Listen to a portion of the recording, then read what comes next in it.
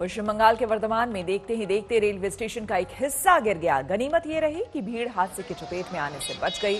हादसे में दो लोग घायल हुए, जिसमें से एक की हालत गंभीर है। लोगों के सामने ही स्टेशन का हिस्सा भरभरा कर नीचे गिरा।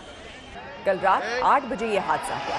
स्टेशन के मुख्य गेट का ये देखिए, बड़ा हिस्सा गिर गया। शनिवार होने की वजह से स्टेशन पर भीड़ कम थी, इसलिए भी बड़ा हादसा टल गया।